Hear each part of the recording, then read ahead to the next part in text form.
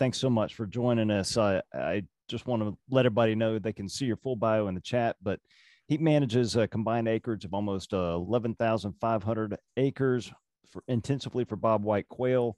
Uh, he's a graduate of Mississippi State University, and uh, he's been burning for bobwhite's in the Red Hills region since 1997. Robbie, thanks so much. You got the floor. All right. Thank you, Kevin. I appreciate you, everyone having me here today. I'm honored by the opportunity to share how we burn for quail on these truly beautiful properties. And I would add that when Kevin asked me to do this presentation, I was I was actually at the Oyster City Brewery in Apalachicola, Florida, and so he may have caught me in a moment of weakness as I agreed to do it. But uh, and, my, and my first thought was, man, there must not be anybody good available, as I uh, I'm a much better practitioner than speaker, but we're going to do the best we can with it. So uh, burning for bobwhite, so look at prescribed fire on Osceola and Tallokas plantation. Osceola and Tallokas are properties that are located in the Red Hills of South Georgia, and they are multi-use properties used for timber production, farming, uh, and recreation. Osceola is in Thomas County, Georgia. Uh, Tallokas is located in Brooks County, Georgia. Uh, they're about 25 miles apart from each other. Osceola was assembled from in the 1940s and 50s through the purchase of some 40 plus individual properties by Mr. W.D. Cox of Chicago, Illinois. Uh, the Williams and Parker family purchased Osceola in the 1980s, and it has been intensively managed for quail since the 1940s. Uh, Plantation, on the other hand, was developed by the Bryce family in the 1830s, and it was purchased from the Bryce family in the 1970s. Uh, interestingly, Tallokas has only been owned by two families since the 1830s, and I bet it's really difficult to find a property of this size that you can say that about. Uh, has been managed intensively for wild quail since the 1960s. And so here's a further breakdown of these two properties. And as far as habitat goes, they're, they're basically reverse images of each other. Um, Osceola is the larger of the two properties. Uh, combined, there are about 21 quail courses, 15 on Osceola, six on Tallokas. There is significantly less quail acres on Tallokas because Bryce's Pond is located dead in the center of the property. And Bryce's Pond is a man-made 1,000 acre pond that was constructed originally for rice and energy uh, and an energy source for milling. Uh, today we use it for duck hunting. So our primary management goals for this property include managing timber with a lean towards quail. And, and I realize that's a really ambiguous uh, goal, but what it does is it provides a very flexible framework in which we can work. You know, it forces management to find a balance meaning you, you can't consider timber without considering quail, and you can't consider quail without considering timber. Um, next goal would be striving for long-term sustainability. The family that owns these properties has told us that they have the resources to manage these properties for 100 years, but they want us to figure out how to manage for 200 years. And, and they say this because they realize these properties are uh, what binds these, this family together. And so this is force this is forcing us to really think and plan on very long timelines. Uh, a primary goal, a, a, final primary goal would be creating optionality. And what I'm referring to here, and, and, it's something that's been going on in the Red Hills for quite some time on these large uh, family-owned uh, shooting properties, is basically a large amount of wealth was created back in the eight, late 1800s, early 1900s and, and these properties were, were purchased and then managed for recreation. But over time and through generational succession, a large amount, the large amount of wealth has dwindled, uh, creating difficulties in managing the properties, much less owning them. And, and, and so in an effort to stave off maybe the inevitable, some of these families have employed strategies to try to slough off acreage uh, in the hopes that they can reduce that property down to a manageable size. But really what happens in the end is, is they reduce their options and, and, and they, they, they can't seem to find a way to work out of it and they end up having to sell anyway. And so we're trying to create options for tomorrow through strategic land acquisition, trying that, that will create a, a very diverse mix of farmland, timberland, and hunting. Uh, objectives for this prop or for both properties includes creating sources of income to offset expense. And this ties directly back to that, that goal of sustainability and creating options for the future. Uh, we want to create value on every acre. My general manager calls it going Dutch. And, and what he means by that is if, if you look at a satellite image of the Netherlands, every inch of every acre is perfectly arranged and, and all of it is contributing to the whole. Um, when I came to Osceola and Tallokas, one of the first things I noticed were there were these corners and, and odd areas uh, that where we, we weren't growing any timber, we weren't farming, we weren't even hunting these acres. We, we were simply just paying land taxes on, on, on that land. So very quickly, we began focusing on that low hanging fruit, meaning it was an easy decision to put those areas back into say reforestation or, or maybe farming or even clean it up and fold it back into our hunting program. Uh, we also have a compartmentalization objective. And what we mean by that is we want to put things where it makes the most sense. We want to farm where it makes most sense to farm. We want to grow timber where it makes sense to grow timber, and we want to manage for quail where that makes the most sense. Uh, and, and, you know, and, and, when we do that, we want to create economies of scale. Uh, a good example of, of that is when I came to Osceola and Tallokas, we were farming almost every two to five acre field on the property. And, and I'm going to tell you, there's not a farmer in the world that wants to farm two to five acres at a time.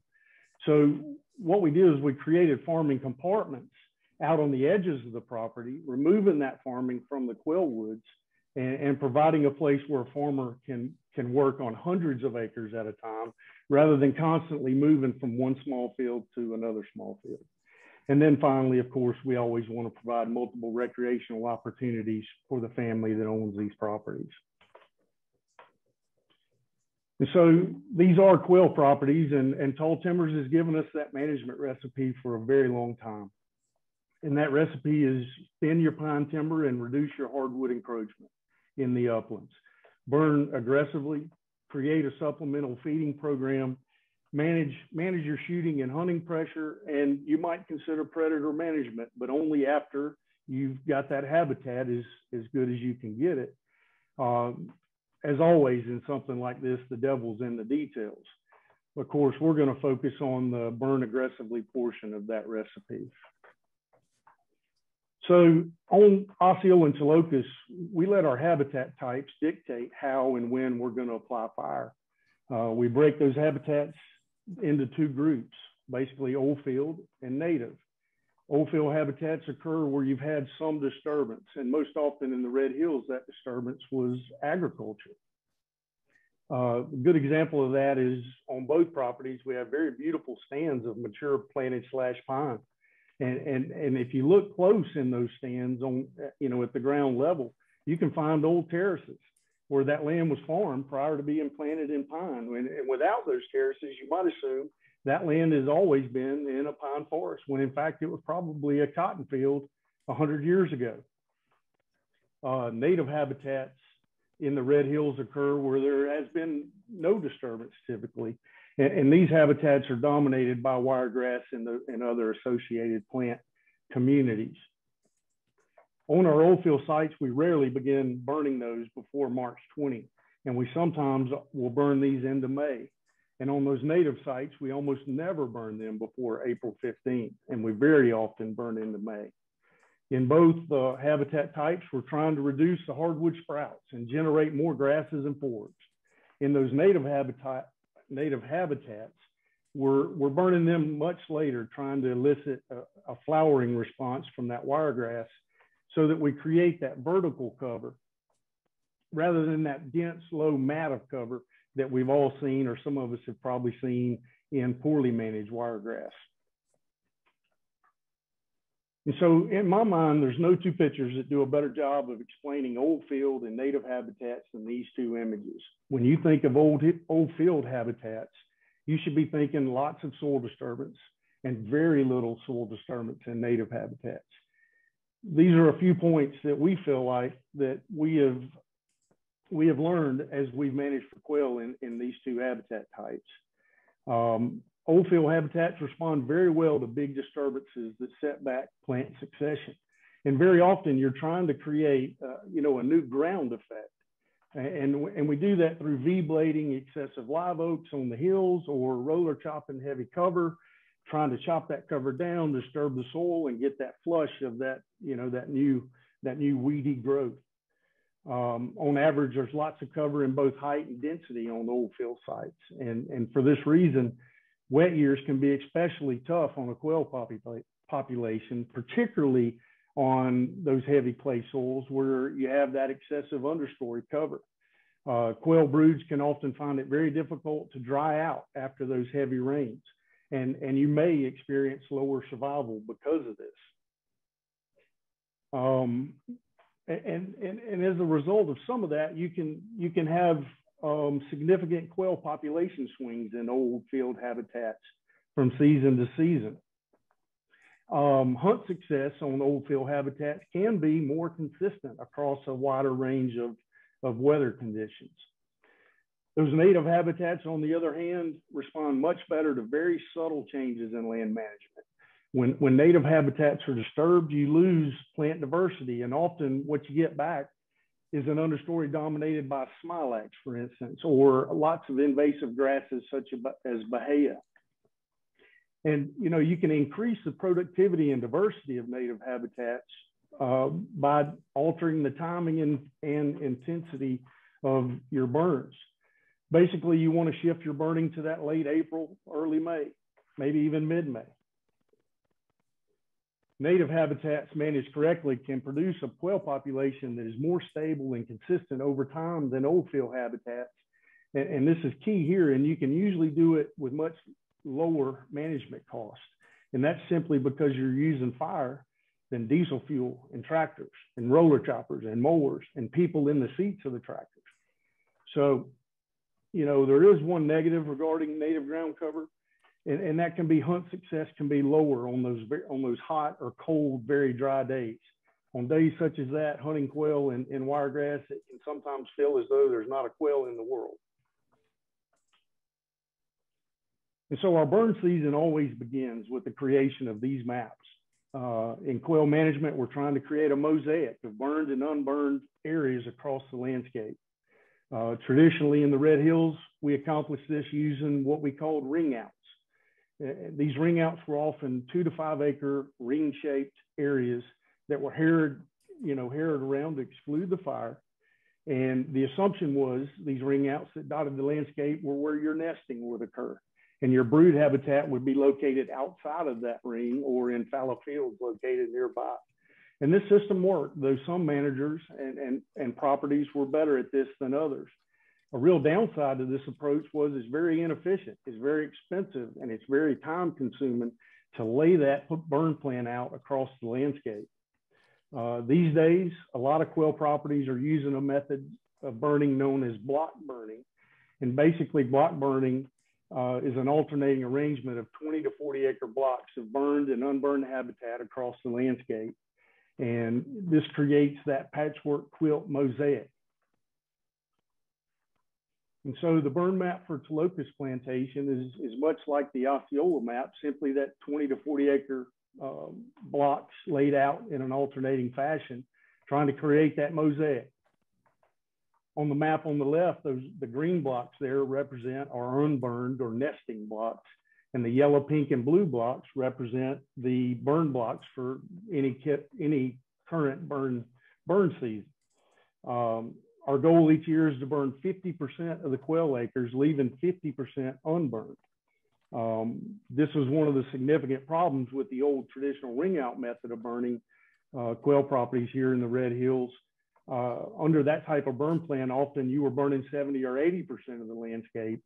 And, and that can and does work in quail management, but you better be getting good rainfall and you better you better green up quickly after that burn, or you're very likely going to see predation rates increase, and and and and because of that, uh, likely produce a, a, much lower quail population than you might have under a block burning system that that somewhat hedges your bet. On both properties, we use the colors yellow, pink, and blue to illustrate and manage the timing of how we're going to burn these blocks. The yellow represents our old field habitat blocks and will be the first blocks that we burn in any given burn season. Uh, the pink blocks uh, may be either old field or native and, and, represent that second pass through those burn blocks. And, and then finally, the blue blocks are almost exclusively native ground cover uh, that are burned as we come through for that third and final time. Using Osceola as an example, uh, this animated slide gives you somewhat of an idea of how we um, we begin our burning and, and how we like to scatter those burns across the landscape over a long period of time. We like to scatter our burns uh, across that property, across the properties, because, for, well, for several reasons, but primarily we're doing it in quail management because you're always hedging your bet. There's only one absolute in quail management, and that's dead hens lay no eggs. And, and burning, you know, is going to be the most important management tool we have. And you've got to burn to set back that plant succession, but you have to be very careful with the duration of time in which you expose those birds, um, to, you know, to predation because you've taken that cover away from them. You you know we want that soil temperature to be rising and hopefully we have good good uh, excuse me you want that soil temperature to be rising and you want that soil moisture to be very good so that that green up occurs as quickly as possible. And, and if you can get you know if you can get that cover back on your burned areas you stand a much better chance of limiting that predation and carrying more of those egg laying hens into that breeding season so we conduct our burns using uh, three Honda ATVs to set fire, two John Deere tractors and a Gator uh, with water tanks to mop up the fire lines. And we usually have about six people on the burns. Uh, we don't like haired fire lines. Typically, we're using the same fire lines every year, and that repeated herring uh, of those fire lines typically creates a mess eh, that you're going to have to spend a lot of time and money on trying to repair. We do use a haired perimeter break around the property, but th those interior lines are most often grassy roads or field edges. What haired, uh, harrowed interior lines we are using um, where are, are, places where we're not going to get that erosion and, and, and we're going to incur very little, very little maintenance.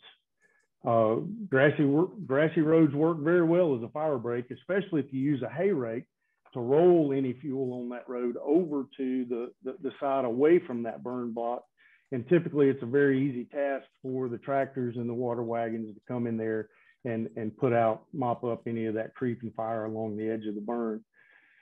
Most often we've got two ATVs burning the larger blocks with one tractor and the gator mopping together, mopping up that fire. Uh, the gator also spends a lot of its time running back to, to, to check those previous burn blocks, looking for problems or, or any potential for fire escapes. Uh, then we'll have one separate ATV and another tractor, usually working on those much smaller blocks. And we just hopscotch our way, you know, across the property for that burn day. Once we've secured the block with, with black lines and backing fires, we use a strip head firing technique to complete burning the block. And, you know, we're always burning two year fuels that mostly consist of pine litter, grass, forbs, and, and woody shrubs. And that strip head firing technique uh, creates a, a, a, quick, very hot fire that works really well to top, to top kill those hardwoods and, and remove that litter and, and, and allows us to quickly move across the block and wrap up the burn.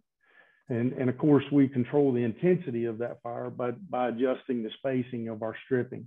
In those deep fuels, we'll tighten up those strips, and in those lighter fuels, we'll widen out some. And so when I share how we burn Osceola and Tallokas with people, almost always they say, that's great, Robbie, but, but how's your honey? Um, this graph shows our hunt productivity for the last 10 years.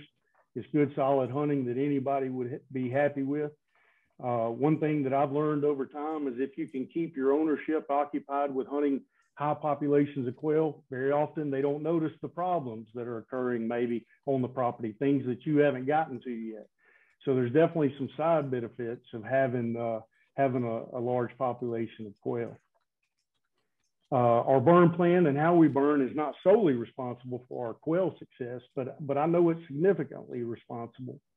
A couple of other interesting points to make. Uh, you know, while these are averages uh, of coveys moved per hour, some of these quail courses that are represented in these averages have been over 12 and 14 coveys per hour. Uh, the significant decline that you see there in 2017, ending in 18, was due to a severe drought. And had we burned more than our usual 50% that year, we likely would have seen our quail population fall even further. Uh, a final point I would make, um, and somewhat as a joke, uh, when I'm looking at this graph with, with my boss, my general manager, I always like to point out when I got to Osceola and Tallokas, and that was in 2012. And so the bottom line, fire is your cheapest tool when, when you're trying to manage plant succession. Managing that plant succession is the key to good quail management. Remember those tractors, diesel fuel, mowers, roller choppers, all that stuff is way more expensive than fire. Uh, second point would be you can't manage what you don't measure. You need to develop a plan and you need to map your burn. You need to know exactly what you're burning. Uh, and the cool thing is once you do that, you, you don't have to reinvent your wheel you know, every year. Once you've developed it, once you've mapped your burn, you simply just reverse that plan for every year. And, and then because you're always burning two-year fuels, you typically have a fire that carries better, burns hotter, burns more complete, and typically there's way less mowing. Um, burn frequency and scale timing are all key to using fire correctly in quail management. You want to be doing a two-year return interval. Ideal block size is 20 to 40 acres and you should never be afraid to burn into late April or into the first part of May, especially in your native ground cover. And then, of course, last but not least, smoke management. The main point there is it's much easier to manage smoke on 12 individual 20 to 40 acre fires than one 250 acre fire. And that's what I've got there, Kevin.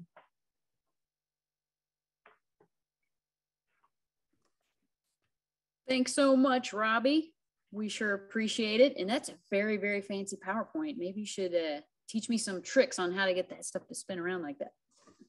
Um, I appreciate you talking about growing season burns. I know a lot of people are worried about uh, ground nesting birds and burning that time of year. And, you know, this did come up in your thing. Absolutely. You didn't say it speci specifically, but yes, timing and changing uh, scale and intensity and timing is going to give you lots of cool different species. So think about that. Uh, we do have a couple questions from the audience. Let me scroll over here for that. Um, yeah, someone's asking about the average residual basal area in your quail focus areas.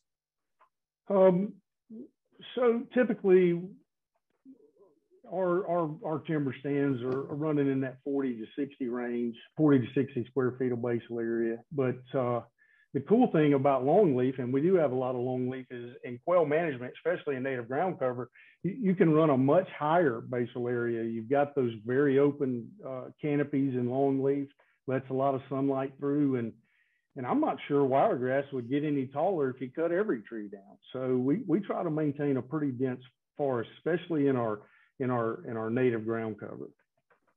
Yeah, so along with the uh, native ground cover stuff, have you heard of it, many other um, quail managers trying your native ground cover approach?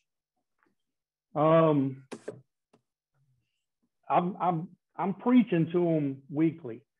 I'm trying to convert a lot of folks here, and I know there's some out there. Uh, I wish there were a lot more. Yeah, we're trying to promote that on uh, public lands as well. We appreciate it. Well, thanks for your time, Robbie. And I just want to a quick note to people: if you do see a bobwhite quail that's taller than five feet, might be burner bob. Just don't shoot at him. Just throwing that out there. Uh, appreciate it. Wow, Th- thank you so much, Robbie. I really appreciate it. It's fantastic presentation. Um, we're going to have to get you to give uh, give my my presentations in the future. That that was really wonderful, very informative uh, and a model for you know possibly public land quail management. Just really, really impressive. Um,